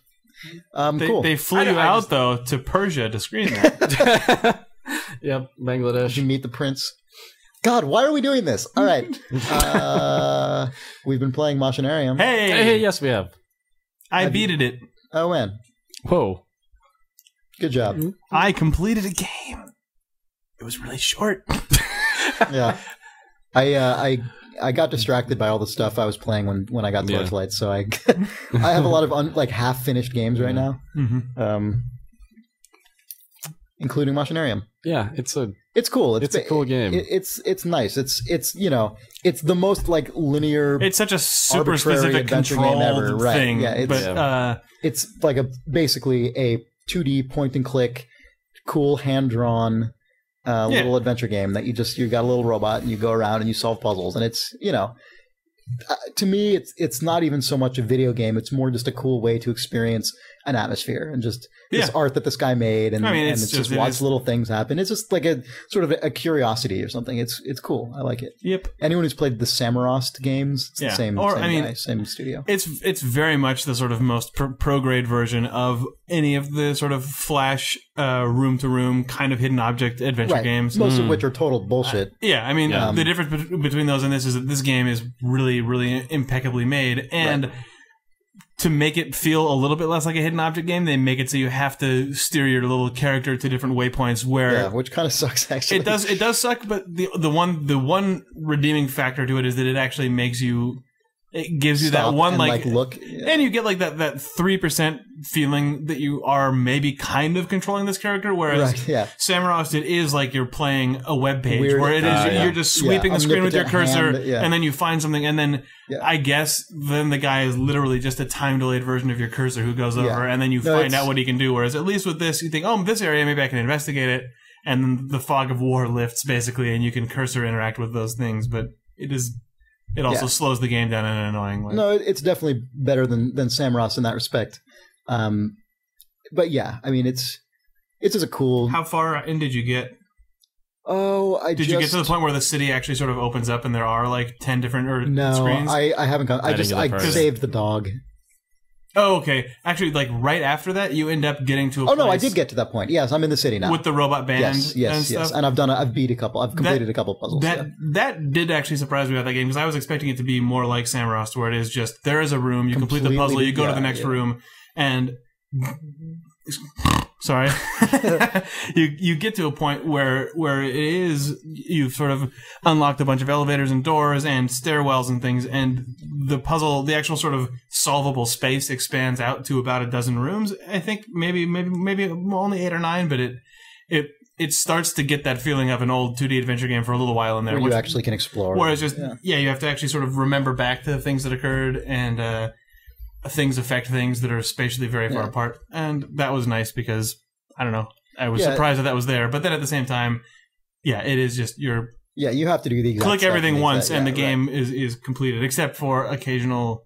There's some mini gamey stuff. stuff. Yeah, but but it is you know as as much as like as basic as it is as a game there there is some nice a nice curve in there where at the beginning of the game every single screen is self-contained Mhm. you don't retain items between them then you start having items maybe you'll keep an item from screen to screen. Then you start getting to the point where puzzles bleed over from screen to screen, Right. and it, it it opens up in a in a way that kind of slowly introduces you. It's it's nice, you Yeah, know, for what it is. It's cool and well made. and also just it looks nice and the, sounds the, nice. The, the sort of just general feeling of that world and what little sort of story and sort of and history and structure of it get told by the time you get to the end of the game is really nice Yeah. and it's it's nice. It it made me wish that there was a more fully realized game in that universe with that style that wasn't like I know that the guys at what is it Amantia Uh, Design? Amanita design. Amanita, they obviously like that really, really controlled uh, thing, the the Samorost thing, and this thing where it is just there's not a lot of agency over your character. It's as you click a thing and then they tell you what your character is going to do with it. But Right. it, that world and that style made me wish that there was a more, even just just at least a more traditionally higher agency adventure game where I could dig around in it more. I really wanted to sort of root around in that, which I haven't in an adventure game in a while. And I I also quickly, um, Nick, I was thinking of the soundscape of this game. It sounds really nice. Mhm. Sound design is really good. It's nice to listen to. That reminds me, Nick, when you were playing Torchlight, did you ever try turning the music off? no. I did, um, because as much as I, from what I've played of Diablo three, I don't like the music nearly as much as I like Torchlight's music. Right. And maybe maybe Diablo three has other music, Yeah. you know, that's that's cooler that I haven't heard yet. But based on the few hours we've played of that game so far, I think Torchlight's score is superior. But one thing I like about Diablo three is that they sometimes just drop the music out and just Oh. let you explore in silence. Mhm. Not but but not silence because there's an excellent soundscape behind it. I I tried to simulate Torchlight has music going all the time. It's Matt Uelmen's excellent score. It's always excellent. Yep. But I tried just for experimentation to turn off the music and just listen to Torchlight, and it's got a great soundscape under it. Hmm. You know, you've got the little drops of water in the background. Your dog will occasionally shake, and you hear the clink of the the collar and the. I and did just- notice some of that. Yeah. it's really nice and it and I, I kind of actually wish and you know someone can probably mod this in in like two seconds but uh, that the music would occasionally just when the track ends instead of looping it would Uh, just Just- kind of you would sometimes just get hear a the few weird minutes sort of, of, just silence. Yeah and it just it's cool. I, I find myself actually going back and forth and it's great both ways. You get either an amazing soundtrack or you get an amazing soundscape and it's just uh you know someone playing torchlight maybe you want to try that because i thought it was cool Yeah. Matt Uelmen did all the sounds too. So he did exactly. So that guy is responsible for all Yep. the awesome stuff. He really is phenomenally talented. Yeah, he's pretty cool. I mean, I didn't want to go into too. I, like, yeah, I didn't want to overboard during yeah, that interview, I didn't, but I didn't either. God, the sound, the soundtrack is incredible. I mean, it's just great, especially the, the the main town theme. Oh yeah, yeah, God. yeah. It's pretty. It's pretty. Uh, It's pretty good. an- Just excellent. Um, Cool. Also, I said one other thing. This is so stupid. I was trying to find a way to shoehorn this in, and I'm going to. Um, I said the word curiosity during. Uh, Ah. sorry, during uh, uh, the Machinarium discussion, and that actually reminds me of uh, this crazy place I went in Los Angeles. If anyone finds themselves in or in or near Los Angeles, go to the the Museum of Jurassic Technology. It is a crazy, weird thing. It's basically it's a house. It's on Venice Boulevard, I think, and it's it's a museum built into basically what is a two story house. Uh, it is essentially a analogous to those like I don't know, 17th, 18th century like weird pseudo bullshit curiosity museums where they're all done as if everything in there is real, but you just you know someone's pulling your leg like someone clearly must have just bullshitted this weird like mammoth fossil that could not possibly actually look like what they're claiming it looks like. And the like you know uh sort of physiological processes behind this prob- could not possibly been what they claim they are but but maybe it is. It's in a museum and it looks very real and it's behind a glass case and stuff. And that's basically what, the, this museum is. It's like a weird strange just collection of things some of which is real and some of which isn't. And it's really hard to tell which is which. Mm. and it's really fascinating. And, Some and sort of believe it or not situation. not but not no because it doesn't present itself like that. It's it's completely uh as it, i mean it, it doesn't it's not trying to like go like look at this crazy thing. I mean it really is just as if you're in a museum and it's saying this is this this is that. And uh i don't know how to ex- i don't know how to describe it. It's so strange. Um but there's just weird shit in there. Just strange weird things mixed with actual real weird things and uh, I would recommend going to it. What's it called again? The Museum of Jurassic Technology. They they change they change the exhibits every once in a while. That's been around for about twenty years, I guess. Um, there's like, as far as I can tell, this extremely elaborate, I think, fictional exhibit about the one of the guys who wrote this ridiculous book called like Obliscence or something, that- and it's this whole bizarre fictional story, but then it's woven in with actual real people, and you'd never know which is which unless you now that the internet exists and you can look stuff up. But some of it is still hard to verify. I don't know. It's fascinating. It's it's a bizarre, weird thing, and I would recommend going there. It's sort of a pseudo interactive experience. So I tying it into a video game in that way. Cool. You Look wanna, it up. You want to disappear for a second and then come back with a reader mail? Yeah, let's do that. All right. Oh, maybe in this break I can just go ahead. I just I just wanted to plug League of Legends really quickly because that's coming out this week. Oh, do it. Yeah. During League of this break, Nick will plug League of Legends. Yeah, no, seriously, I you go do your thing. Yeah, yeah. It's coming out. Uh, yeah, it's coming out, and uh, they added a bunch of stuff recently, and it's really good. And What I did they hope- add? they added a new map, uh, which is a big Oh, event. two lane map. yeah, which is a big event for a Dota game because it's like you know. Yeah, because Dota has one map. Or like Well, yeah, yeah. I mean, it, you're messing with a very tested formula, but Right. uh, uh, it's it's actually really fun. Um, they did a really good job with that, and that's a free game that people should try. If they don't know anything about Dota, I would just go give it a shot because you might like it, and it's free. and it's free. So there's League of Legends. Good again. Okay. We're just basically as Auto Thumbs winds down. I guess basically what we're doing here is just plugging the shit out of Yep. PC games by small developers Yeah. that we want to succeed. Yeah, So yeah, I'm comfortable with that. that's fine. Let's take a break. Video game. So uh, Thanks, Nick. oh, Kenny Lucas. What you're you're gonna be doing community coordination, so it's time for us to just start heaping uh, Right, undue, yeah. undue blame all over you Yeah, yeah. stuff you're not in control of. All right. So Kenny Lucas writes, "Dear Thumbs, you seem to be the experts on video games thing. How do you feel the word video game should be spelled out? Should it be video games with a space in between? Two video no words. Two words. There you go. Correct. Sorry. Moving on. that's amazing. Uh, anyone who has the Idle Thumbs Journal of Games will know that this is our uh, opinion because we have an entire Too bro- spread. broad broadsheet spread dedicated to video games being two words. Yep. Um, The best spread in the in the paper. it's also discussed in our latest webcomic. All right, so uh, Steve Farrell writes, "Hey Thumbs, I'm really interested in Dragon Age, but I'm torn between the console and PC versions. I guess this is like the weird like letter to the editor, like or dear Abby, like oh, advice. right. Yeah, right. Day of torn. emails. Well, because I had to get rid of all the emails. Well, not get rid of. But most We had of to them. erase without reading all of it. No. Um, most of them would just make us sad to read. So, uh, he says, I'm really interested in Dragon Age, but I'm torn between the console and PC versions. It is much more comfortable for me to play on 360, but I was a huge Baldur's Gate fan, so I feel like I'm doing myself a disservice not playing it on PC. I'm torn because I want to pre-order it from the ex- for the extras, but I can't decide. Will you guys get this game? If so, what platform? Love the show. Keep up the good work. Eh, Steve P.S. F. Fuck He may not know. Sorry, that's your new pen name, P.S. Fuck Nick. yep. Uh, I.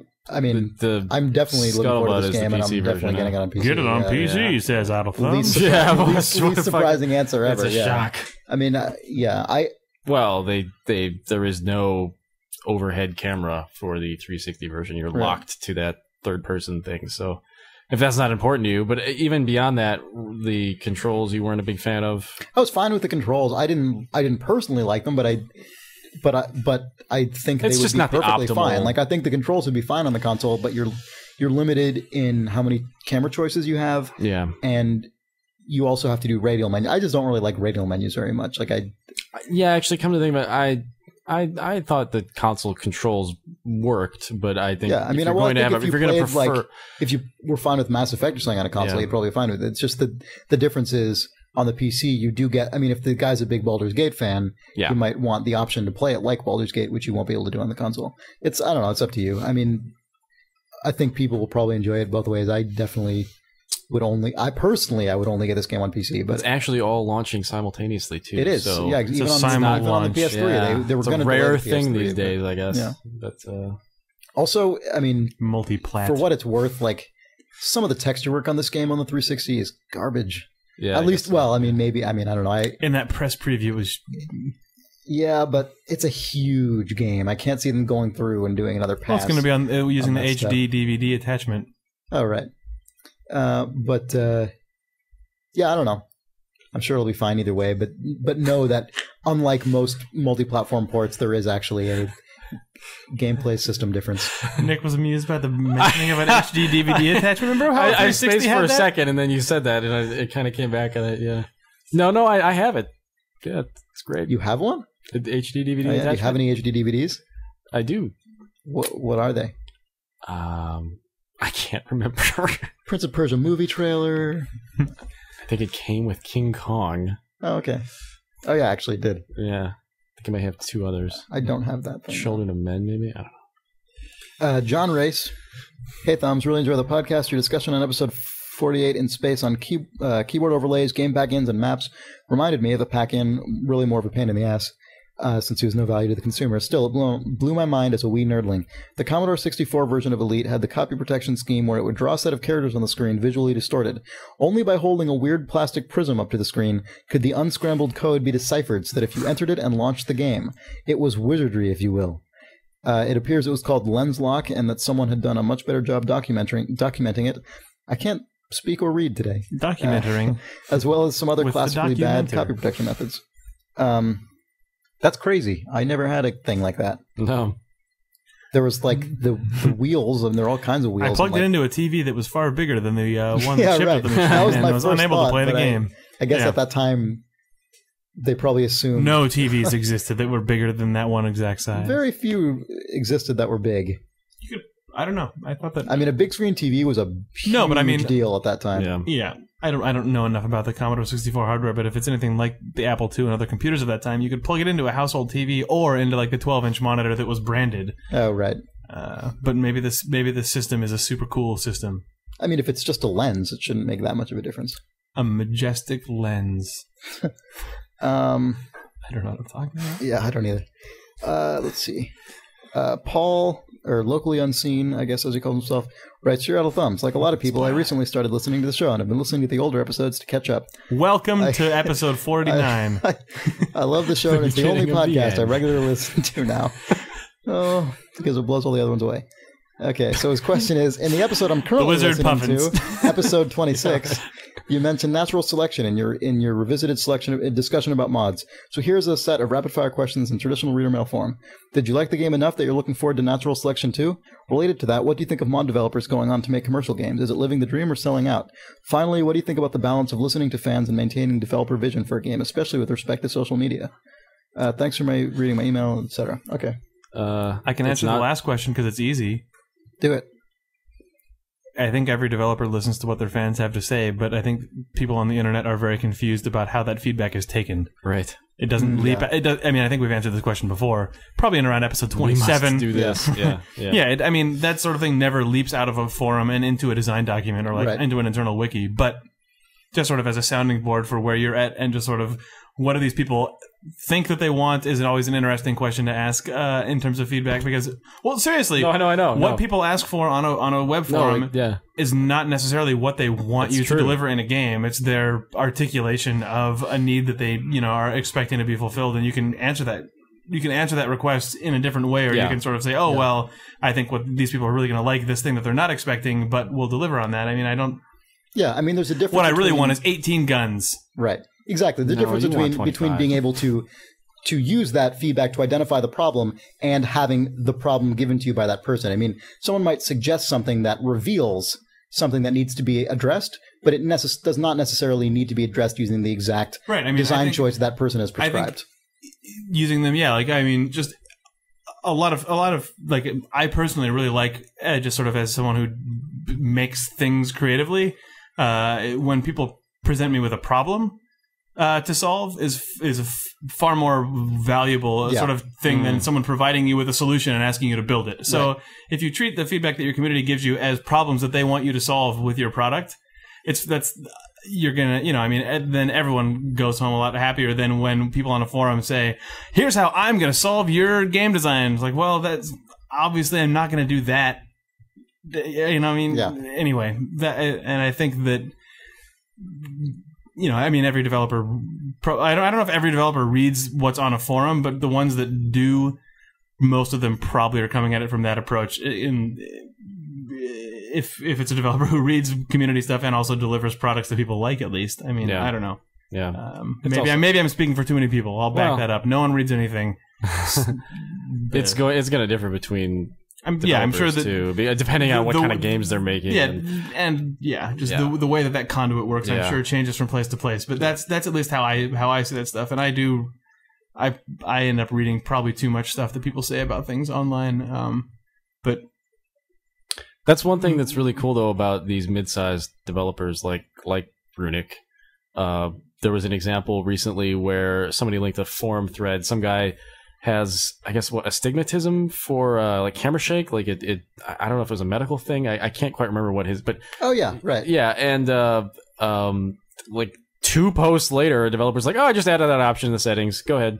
I mean, that Well, kind yeah, of stuff is that's really well, he cool. added it. He added like the ability to go into the, yeah, into the, the game the options game, yeah, do it, the, as opposed actual, to in like yeah. the UI itself. But yeah, But it was like I mean- three hours. Yeah, In three hours, a Yeah. guy from Runic Games had gone yeah, that's one thing modified is, Torchlight I mean, to support this guy's eye condition. I'm admittedly speaking like partly because it's a thing that I like about my own employer, but it is cool at studios where it's like your your employee count is a two digit number. Uh, people can go onto those boards and just right. pose a question or start a discussion thread, and the odds are extremely high that someone will be posting from the same machine that they are concurrently using to develop the game that they're talking to that community member about, and uh, that sort of stuff is cool. Yeah, I like that. yeah, it's cool. Games. What were the other questions that guy had? I actually I forgot that there were other questions, and then I exited out of that particular email, and now I'm trying to find it again. Oh, Oh, the second one was um. I can't remember. Nice. It was on the tip of my tongue. Uh, no. Uh, what is game? what is game? Now when? Now I almost remembered it for a second after asking myself what is game. We're awesome. oh, We're naturals at this whole podcast Yeah. thing. we got it down. Um, but if, if we keep this up, it'll really take off. Hey. I can't remember. This is like everyone is I listening. This is like going to see the horror movie, being like, "Come on, just oh, Yeah. don't open the door." he was obviously Yeah. asking about this. right. Everyone who's remembered. Oh, this is retarded. Yeah, I can't find it. Okay, well, I'm gonna go on to another thing Oh. that maybe maybe you guys can address this question, and then That guy's gonna be I so can disappointed. find. Well, I'm gonna try to find it as we read Like- something else. Twenty-three episodes from now. Or Natural you- selection was the one. The Oh, first right, part. natural selection. Okay, are you? go. Did you play natural selection? And are you excited for natural selection too? I All played like you five answer minutes that, and I'm gonna keep looking.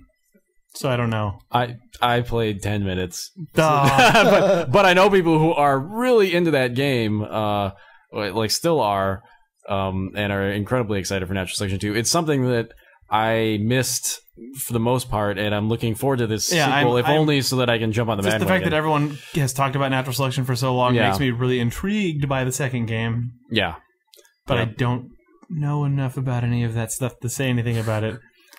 So, what was his third question? the the third one was the community. It was the second one. What was the we're- that we're first trying question? to unlock? Natural selection. okay, what was the second question? Video games is two words. Uh.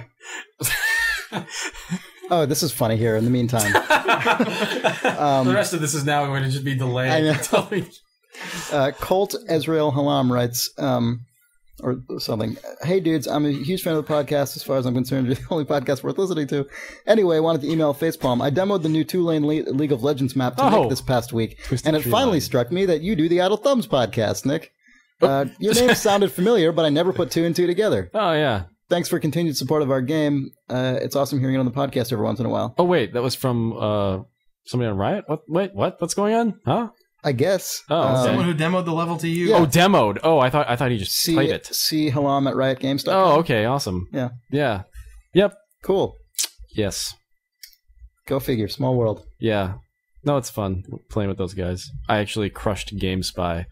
oh yeah. It was me and two Riot guys, and we we we demolished. Are you GameSpy. and two Riot guys? Yeah, yeah. Mm, No, but you're good at this game. I know. No, I hey, I was leading, man. Nice. Yeah. What do you think of mod developers going on to make commercial games? Yeah. Is it living the dream or selling out? Oh yeah, that's an easy There it one. is. It's living It the is living dream. the dream. It's- It's definitely not selling out. no, Yeah. it's not. I mean, yeah.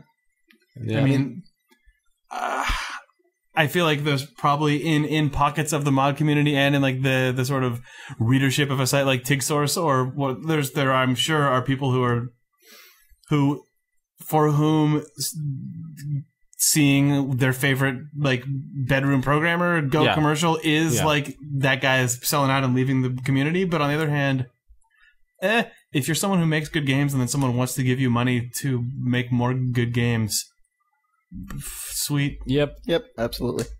that's my The people who are listening to this podcast while we're trying to think of that question, like they know what that question I is, know and they're exactly. like, "No, don't bother. No, keep going." Yeah, sorry so yeah, we've the worst of all worlds. Yeah. It took forever to get to it, and then it was kind of obvious. the other two questions were good though. No, they're good. Um, thanks guy you'll you'll hear this in a week or two yeah, really.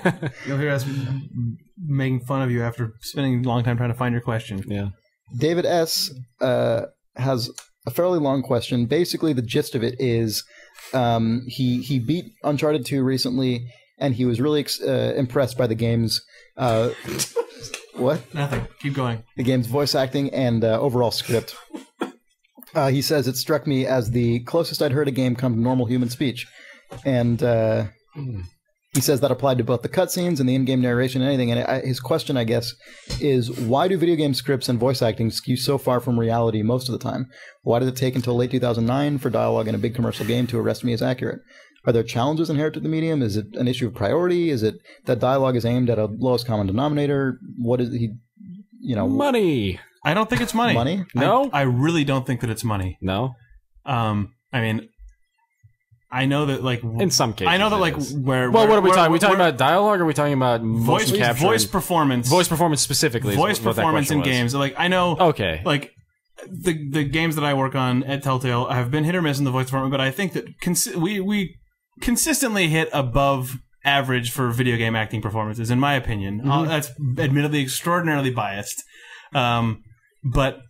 I don't even know why I brought that up because Uncharted 2 does an amazing job with their voice performance. And I think Yeah. what it comes down to is caring about Direction. casting and caring about Yeah. direction yeah. um, from what little experience I have working, like being in the studio when when people are recording voice for a video game, uh, I and just from what sort of what I hear people in the studio talking about, I think the tendency in games is you bring the actor in, you put down the page of your script, you fly right the fuck Yeah, down that yeah. page. If there's a one that you, if there's a take you don't like, you go back and fly down the entire page a second time. Well, especially if that Bef- person. before you can put the brakes on, the guy is on the next page just going for it. And I, my I, guess is actually in that case, money would be a hindrance. Or uh, when you get a big name actor and you have him for a day and you have to get through all of those lines, I I guess that that's probably that a, that is probably part of it, but I also just I think that it you just you have to you you you, you, you do have to be willing to take the time in the Yeah. studio to get the takes. You have to have someone in the studio who is Well, it's using your time well. Also, it's mm-hmm. actually communicating good direction. I mean, there was an interview Yeah. with Ellen McLain who was GLaDOS in Portal, and she's the announcer in Team Fortress 2, and she was the Overwatch in Half Life 2, and she was saying that one of the things that she loves so much about working with Valve as opposed to working with other video game companies is that they actually direct her and they actually Well, yeah, communicate that's what I mean. You need to- what the- needs to be said. the guy in the booth i think at a lot of game companies you end up with just the audio producer maybe or something is is there or like the the sort of studio voice producer or voice director um s- probably freakishly often without uh the writer or even i don't know maybe I, i'm i'm just bullshitting all of that i don't really know but that's that's always that's often the impression that i get at least um but yeah like you can tell with valve's voice direction that they have people in the room with the actors who really care about context, who really care about the timing yeah. uh, and the tone of the of the delivery. And I just I, I get the impression that where that actually does fall apart is at the is actually at in the booth. in the booth when the actor's there when they're which is the weirdest thing to me because that is when you're spending the most money. Mm. That's when you think you should be having as many Right, eyes yeah. as possible on that moment where it's like you've got the studio time, you've got engineers in there, you probably have some of your dev team in there, you have an actor who you're paying a lot if it's Yeah, a yeah. if it's a union gig and if it's a large role. And I think that people at that point, that's when it's like, ah, it's just game audio. Uh, from a from a sort of scoping budget standpoint, and then I and that's that seems Well, to be where it also- crumbled. I mean, the script also has to be good. Yeah, well, and But- also, and, yeah. and on the on the topic of the script, like there has to be enough in there that you can provide motivation, Right. You can provide direction. I mean, That's the thing. If it is just There is- Fuck bullshit, yeah, yeah, yeah. lock and Well, the- load, the- yeah. rock and roll. right. Yeah, I mean that There is are a lot of quests like and things uh, in games that are just Uncharted 2 like I think that's what we were talking about last week with with Steve is that when like and it is in, in the first 2 seconds of the game but when the when the guy says what could possibly go wrong and then other people laugh it off. I know that was my example from last week but it was like hey you know Sounds like what it would it, sound it was like, like. s- Yeah. sort of self-aware sarcasm but wasn't what could possibly go wrong Dun, dun, dun. But then, like, no, even even that can be played off wrong. Where it's like someone says it that way, then someone's like, "Oh, you you always say that." Yeah, and right. oh, and then like the scene sort of awkwardly fades out as the characters go back into sort of mocap uh, like calisthenics for a That second. is ultimate video game. That's Yes, it actually really is. Brutal Legend occasionally does stuff I was like that, thinking of which Brutal was Legend, really yeah. unfortunate because the actual voice perform vocal performances in that game are excellent, yeah, but but occasionally the camera lets it down. it does. yeah, it's yeah. There's a lot of there's a lot of little Pieces little points where you where you can drop the ball on that, Yeah, and if yeah. you don't keep them all going, it, it your your moment or something Yep. falls apart weirdly. It's quite difficult to recreate the essence of a real human being when you're Yep. doing real time Well, just- 3D and, yeah, graphics just- with a disembodied voice. Yeah, also, I mean, once you have voice actors in a booth reading a script, uh, especially in the styles that we're talking about here, you're not only recreating a human, but you're recreating the sort of stylized, very visually and tonally directed nature of a film or an animated film, which is like the most precise Right. like a good version of that is is there's a lot of rules uh, Mm-hmm. for what people are expecting to come across. Like Uncharted Two does not sound like actual people talking. Uncharted Two Right, sounds like well, that's what the person As, said in the email, mo- but, oh, right. Well, but it creates the to- essence of it. but like it creates how your brain- It matches up yeah. very closely with your expectations for how that sort of conversation goes after watching a good Indiana Jones movie. yeah, yeah. right. uh, and they they hit all the notes really well in that game. Yep. Yeah. Uh, I agree completely. Yeah, Um, I don't know if I, if the, blah I mean, blah blah blah blah. there was probably there was probably other email in here. It was Also, yeah, I will just say that I said a lot Yeah. of stuff just now, and a lot of it is inference from very little information that I've just sort of picked Yeah. up from various things. So No, that was good. I'm sure someone's going to write in and be like, "Well, actually, in most game companies, the creative director is in the booth all the time, and the writer is in the booth all the time." And I wouldn't know because I work at a that's little, kind of little worse adventure game because company. it's but not paying off as much yeah, but it that, should. Yeah, yeah, right. I- but it just that's Probably That is how it- nobody's that going is to know how it's done everywhere, how- so how we it- probably won't get that email. Yeah, I know, but it, it, that is al- always how it has felt to me. Is that e- like the the script in games not often that solid, but sometimes probably there's more to work with than Well, than what comes out of the out of the actual voice performances. it also depends on what ga- kind of game we're talking about. Where if there Yeah, are like We're done with this. Fuck you, Nick. no, what, what what are you gonna say? Say your I was going to say if there are four or five strong characters to work with, and they have the time to develop that character in the booth, and you know, Oh yeah, developer a rep- uh, uh, what's a the rapport, word? but they don't usually do I that. don't They don't know. usually That's- record that's- that's- simultaneously. Well, no, no, no, no. But uh, it, just even the, just that one person, even with the actor. having I don't know. I mean, at least the, the way we do it is we put out auditions, get a get one person back that you like, or you know, you end up with your top five or whatever. Say we're making the calls to this guy, bring him into the booth, and maybe you'll tweak their performance a little bit. Like you did this and we liked that, but we want you to take it a little bit in this direction. Go for it. And uh, there, I don't think it's like a Pixar film very often where it's like, oh, we've got Tom Hanks in here, and we're gonna we're gonna Oh, no. workshop this character Bounce for it two or three days. well, I didn't mean. I, I just mean that at least that person is doing enough dialogue to where they're comfortable with the character. Yeah, yeah, and in the game, in, in the game treats that character Right, differently as because a- it's well, a central opposed character. coming in as opposed, being what like, I, reloading. What exactly? Well, or or just you know a lot of like random people in the world that you know have speaking lines that Hey! are important. yeah, exactly. Yeah, yeah, yeah. I mean that to me is you know is is where game dialogue usually falls apart is when mm. there is just a huge amount of sweet, sweet barks. of yeah yeah. yeah. And just incidental dialogue. Yeah. I well, that's totally or just true. you know a random guy. Yeah, that's what I mean. Like the quest, the guy who like who you meet one time for Right, that yeah, quest, or What are you buying? fucking masterpiece. yeah. What are you selling? Stay a while and listen. Whoa! Why didn't I do that on the one Max? Also. Uh, what? Yeah, why did you turn into Rip Torn? All right, so uh, I guess this is our last one. Cameron, uh, Cameron writes, "Dear Thumbs, I wrote you last week and you read my email, which is exciting." Um, he, okay, some more of that. I was at IKEA back. yesterday and saw this odd bench type half chair thing. It was confusing. The attached tag only served to add to my confusion. Perhaps you, being professors, prof- Professors. Perhaps you being professor. Professor, professor. being uh, professionals in the gaming industry. Oh, professionals. Those are professors. no, well, I did too. perhaps you, being professors in the gaming industry, Being professor. having in, have insight into what this gaming position might be and how this strange furniture may serve to supplement it. Eagerly, eagerly awaiting your wisdom, Cameron. Eagerly. So he, Eagerly. he includes.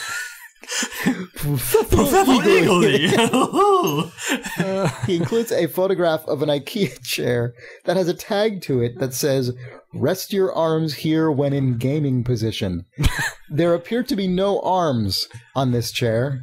oh, it's I don't. For, you I don't this, know what you this- know what this chair is for. I don't. It's for Twilight Princess only. This is actually the It has the, no arms, so that the you can just worst chair. for- oh, I see. Slouch yes. your arms down over right. the sides. Oh man, bringing it back to episode three or whatever that was. yes. it's for Cheeto hands activation. All right, so if I make a if I make a DLC post on the blog, I'll conclude this picture. Yeah. Um, I think that's all we got. This is probably a super long episode. Sorry about that. Um, I think Yeah. we got to wrap it up though. Yeah. Yeah. All right. Video game. I think he shows up on the podcast couldn't- just from thanks for sitting on the couch listening. Yeah. No problem. Yeah. Shit. Oh, whatever. That makes that episode more hilarious to me. It's- yeah. It's just oh, that other guy, the, like this other like industry luminary. Yeah, also, you he's just checking his email over there. This is how we roll here at Idle Thumbs. Jake Rodkin, developer at Telltale Games, and Steve Gaynor, designer on Bioshock 2, and Chris Remo, uh, editor at large of the art and business of making games, present. We're gonna fuck up your press plans. that would be a weird. Why am I recording this? I'm never gonna get a live performance. Embargo Busters. Oh, it was because Jared misspoke in a hilarious way that, that spawned that voice. We were talking about Zelda 2, and that combined into Zeldoo, which uh, of course turned into Veldu, which is my favorite thing in the world. Uh, of- it is- so that is Edwin's game, uh, The Legend of Zeldoo. Nice. Sorry, I had do I had to- don't? Zel. uh, yeah. Oh, we'll just beep it all out. Did you listen to that last week? Yeah. You know when we all I actually didn't. this? I, oh no, I did listen to it. I, I, in fact, I was surprised at how much was left in. What? There's not a Nothing single was left noun in the in. Borderlands. Uh, That was the the word- only thing. I know, I know. That's what That's why I was surprised. It's like, no, it is. Oh, man, you'd have the Borderlands all over that one or whatever. like what? Boop, boop, boop, boop, boop, boop. Yeah, it was funny. Well, that cat was already out of the fucking bag. I mean, there was not like what, Yeah, Nick? I know. Boop, boop, boop, boop, boop, boop. Boop, boop, boop, boop, boop, boop. Boop, boop, boop, boop, boop.